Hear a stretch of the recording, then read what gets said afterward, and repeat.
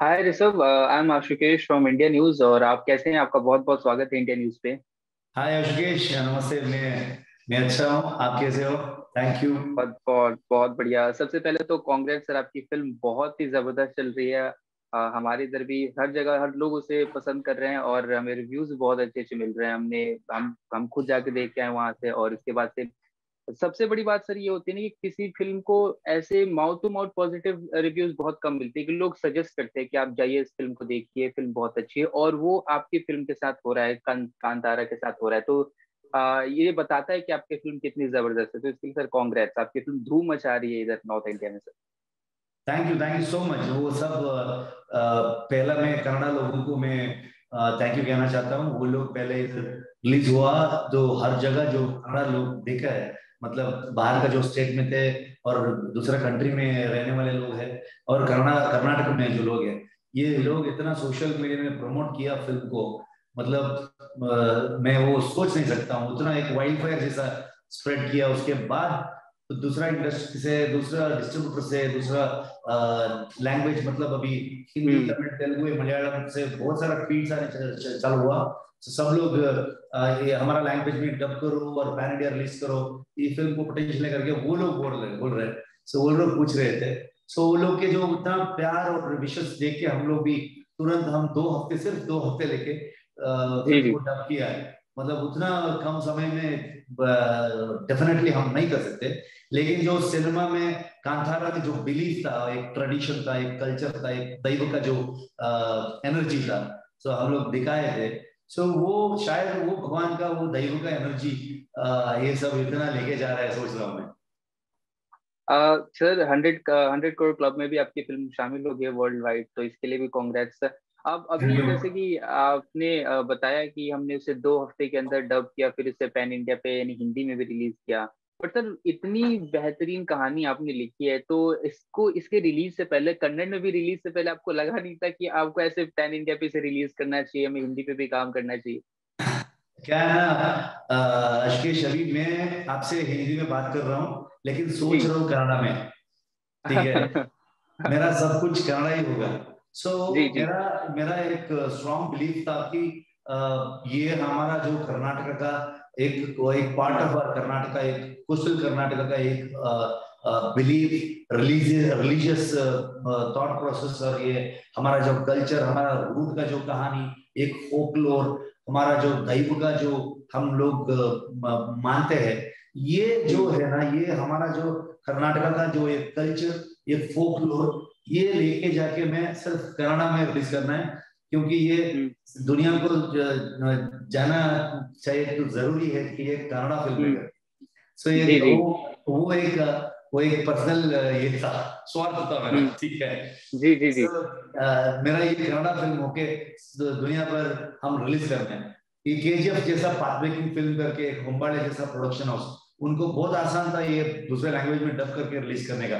लेकिन मैं ये पूछा ये हमारा सारे के सारे जगह हम लोग रिलीज़ कर देते हैं। बाद में हम लोग चाहिए तो उन लोगों को चाहिए हम लोग डब करके दे सकते कोई बात नहीं उसमें। हम्म। लेकिन पहली बार जो रिलीज़ कर रहे हैं हम लोग वो कनाडा में होना चाहिए। ये मेरा आशा था तो वैसा ही करके दिया है। वो एक्चुअली हम्म। क्योंकि ये जो पैन इंडिया का जो अभी चल रहा है इस इसमें इसमें फाइनेंशियल एस्पेक्ट का भी बहुत सारा रहता है। सिर्फ़ ये अच्छा कहानी लिखा है ये जो रीजनल कंटेंट मैं हर बार मानता हूँ कि more regional is more universal लेकिन वो कनाडा में गया तो दूसरा बात है अगर हम लोग एक बार पैन इंडिया जैसा मार्केट में हम लोग पिच करना है सो वो वर्क प्रोसेस भी अलग रहता है। टाइम हम्म, हम्म। ज़्यादा चाहिए सो बजटिंग जिटिंग एवरीथिंग सो मेरा मन में ये था कि मैं उतना प्रमोट करके जो हाइप मिलता है ना वो ज़्यादा बर्डन है। सिनेमा हम्म। हर बार सिनेमा लेके जाना है। हम कुछ नहीं करना है। हम प्रमोट कर रहे हैं। उसमें वो वो वो मानता हूँ मैं। लेकिन हम लोग ज़्यादा बिल्डअप दिया। वो मुझे भी मानता नहीं हूँ वो बिलीव नहीं करता हूँ। सो so, फ़िल्म वो बिल्डअप खुद फ़िल्म लेनी चाहिए वो फ़िल्म वो लेके जाना चाहिए। वैसा ही मतलब पहला कन्नड़ में आया कन्नड़ का जो लोग इतना प्यार दिया और इतना सपोर्ट किया इतना प्रमोट किया सो so, हर जगह इसके इस फ़िल्म के बारे में पता लगने चालू हो गया।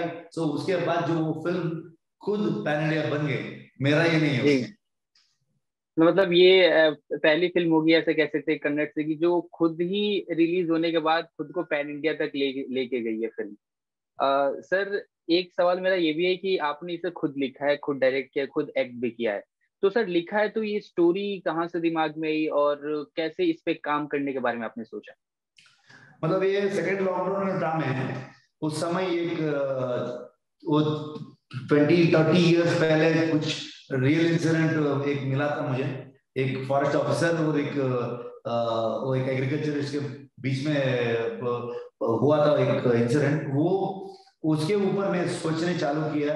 उसके बाद मुझे मन में आया कि मैं एक एग्रीकल्चर लैंड के ऊपर एक कहानी बता रहा हूँ। सो अगर पूरे पूरे इंडिया में हमारा कर्नाटका में नहीं तो हमारा कोस्टल कर्नाटका में हमारे गाँव में जो हम लोग ये सोचते हैं कि एग्रीकल्चर से हमारा लाइफ स्टाइल हमारा वे ऑफ़ लाइफ हमारा बिलीफ सिस्टम हमारा जो मानने वाला भगवान का जो है हमारा कल्चर सेलिब्रेशन सब कुछ।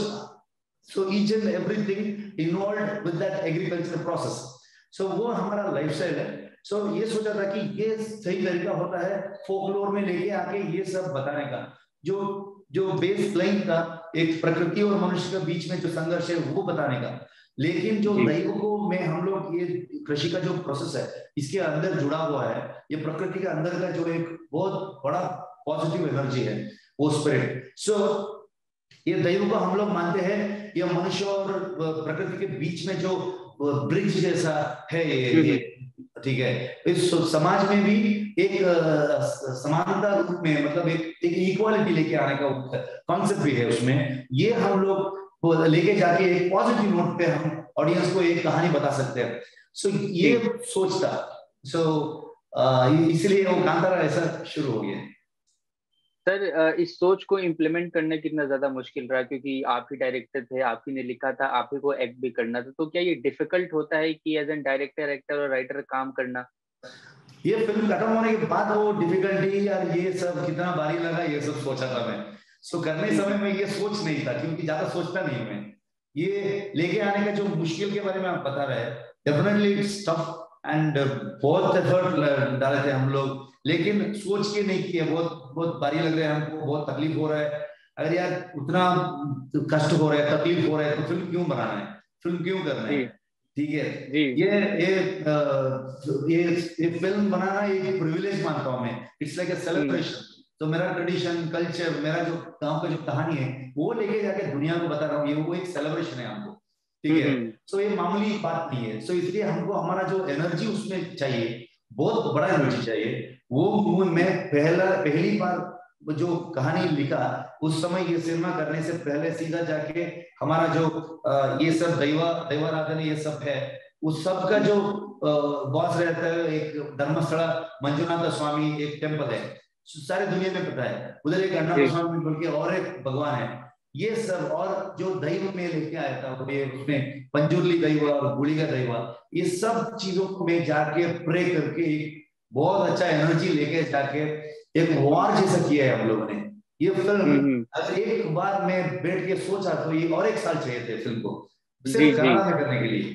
ठीक है ज़्यादा सोचा नहीं हम लोग भगवान के मान के वो एक बहुत अच्छा ब्लेसिंग एक पॉजिटिव एनर्जी लेके ऐसा मतलब घुस के अंदर वार फ़ील्ड में जाते हैं ना वैसा तो सर, अभी जैसे कि मैंने बोला, एक और मेरा सवाल, ये थोड़ा फनी सा सवाल है कि सर बताइए, आपने एक्टर का भी किरदार किया, आपने लिखा भी उसे डायरेक्ट भी किया, यानी तीन चीज़ें की आपने, है ना? तो उन तीन चीज़ों के पैसे आपने अलग ले लिए एक्टर के चार्ज अलग लिए होंगे, आपने डायरेक्टर के चार्जेस अलग लिए होंगे, आपने राइटर के लिए, कहानी के लिए अलग लिया होगा। वैसा सोचता नहीं मैं तो सिनेमा करने करने समय में मेरे को कितना पैसा चाहिए था इमरजेंसी उतना सिर्फ़ उतना प्रोड्यूसर से ले लेता हूँ। ये बाकी का जो है वो बाद में दे दो करके। सो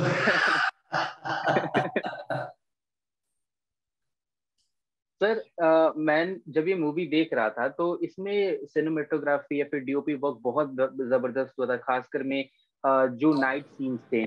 तो सर इसे शूट करने से पहले आपने अपने डीओपी आर्टिस्ट से या फिर कैसे आपने प्रिपेयर किया था या फिर मेकअप आर्टिस्ट से? क्योंकि जिस तरीके के मेकअप्स वगैरह देख रहे हैं और जो खासकर में जो फेस्टिवल दिखाया गया, उसको और बेहतर तरीके से रिप्रेजेंट किया गया हुआ स्क्रीन पे भी देखने बहुत ज़बरदस्त लगता है। तो वो सर उसकी प्रिपरेशन कैसी रही होगी आपकी? मतलब मेरे को एक कहानी आया, उस रात ऑलमोस्ट ट्वेल्व ओ क्लॉक था। इसके बारे में मैं बात करता था, सोच रहा था। उस समय सीधा जाके एक इंट्रोल ब्लॉक में एक ट्रिपलिंग सीक्वेंस आता है तो उधर सीधा लोकेशन पर पहुँचा मैं वही हमारा मेरा ही फॉरेस्ट था वो ठीक है? एक प्राइवेट फॉरेस्ट था मेरे गाँव में पूरा पिक्चर शूट किया था मैं।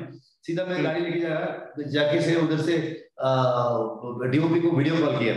वीडियो कॉल करके उधर बोला मैं मुझे इधर इतना इतना ऐसा ऐसा सीक्वेंस चाहिए ऐसा ऐसा होना चाहिए ये मतलब वो रात ऐसा दिखना चाहिए। इसके ऊपर तू काम कर इसके ऊपर सोच सो ये विजुअली हम लोग ये कहानी को कैसे लेके आता है ये सब हम लोग मिलके डिस्कस किए। And hmm. मेरा डीओपी जो था जो अरविंद कश्यप ने हम्म। वो ये कांतारा फ़िल्म का और मेरा बैकबोन था। क्योंकि मैं राइटर भी था मेरा मेरे साथ और तीन चार को राइटर्स भी थे। लेकिन जो डायरेक्ट करके एक्ट करने समय में जो डीओपी का हम्म। जो इधर उसका कंट्रीब्यूशन बहुत बड़ा था। एंड विजुअली हमको जो कैसे मतलब हर बार हम हम दोनों का थॉट प्रोसेस एक ही रहता था। मतलब एक पेस में हम हम लोग ज़्यादा डिस्कशन नहीं करते थे। कहानी में बोला था उसको ईच एंड एवरी सीक्वेंस पता था ईच एंड एवरी सीन हम लोग बहुत बहुत बहुत समय हम लोग नरेशन भी किए थे। ये सब करने के बाद जो टीम आ रहा है मतलब डीओपी का जो टीम था डायरेक्शन का जो टीम था हम्म। सब लोग एक पेस में थे लेकिन दो मतलब जुगाड़ तो होते रहते हर फ़िल्म सेट में। सो वो ये जुगाड़ में वो चार पाँच डायरेक्शन डिपार्टमेंट के जो लोग थे हम्म। वो लोग भाग गए मेरा टॉर्चर ये कर नहीं कर सकते और आर्ट डिपार्टमेंट का भी ऐसा ही था धरणी गांगे पुत्र डायरेक्टर था उसके साथ और तीन चार लोग थे मेन पीपल उसके साथ जो लोग आए थे उसमें हर शेड्यूल में भाग जाते थे। मतलब उतना मुश्किल था काम फॉरेस्ट हम्म। के अंदर वो काम करना और बहुत सारे नाइट्स था। सो पूरे पूरे रात हम लोग शूट करते थे। सो अगर डायरेक्टर एक्टर तो लीड में है तो। क्या बताते लोग जी जी जी जी जी। ऐसा एक कंट्रीब्यूशन था और एक टीम में एक बहुत अच्छा शानदार गिम्बल ऑपरेटर था जयसिंह बोल के और मनु बोल के और एक गैफर था। वो फोकस बुलर भी थे और गैफर भी था। उन वो ये सब लोग बहुत साल से जाते हैं बहुत सारे फ़िल्म में। काम किए मेरे साथ। इस ये सब। लोग मेरा टीम है। हम सब लोग मिलके जाके फ़र्स्ट लॉकडाउन में एक लॉकडाउन फ़िल्म किए थे। वैसा कुछ एडवेंचरस। है हम लोग। सो सो ये टीम का जो कंट्रीब्यूशन था इसलिए मैं इस इतना कम समय में लास्ट अप्रैल 27 को आइडिया आया था। सितंबर के अंदर में पूरे प्री प्रोडक्शन सेट डाला सो प्रिपरेशन किया लोगों को हायर किया मतलब एक्टर्स को सेलेक्ट हम्म। किया वर्कशॉप दिया रिहर्सल्स मेरा प्रिपरेशन भी मेरा छह महीने का ऑलमोस्ट ये मिक्स मार्शल आर्ट का तैयारी चल रहा था एक एक्शन के लिए। साथ ही में बफेलो रोस का भी बफेलो रेस का भी मैं हम्म। तैयारी करना था सो ऐसा मैं अगर एक दिन बैठ के सोचा तो एक साल तो दो साल लगेगा था ये फ़िल्म लगे अच्छा सर एज एन एक्टर और एज एन डायरेक्टर भी वो फ़िल्म uh, के अंदर वो कौन से सीक्वेंस था वो कौन सा पार्ट था जिसे शूट करने में या फिर एक्ट करने में आपको सबसे ज़्यादा डिफिकल्टी हुई जो कि टफेस्ट पार्ट था फ़िल्म का? यार वो प्रश्न को मैं हर सीन को बोल सकता हूँ लेकिन डिफिकल्टीज लेकिन डिफिकल्टी जैसा नहीं मानते हम लोग। जी। फ़िल्म फ़िल्म की करने के लिए आए अगर कांतारा में कर रहा हूँ लाइफ में पूरे मेरा मेरा मेरा ज़िंदगी में मेरा लाइफ में एक ही बार कर सकता हूँ।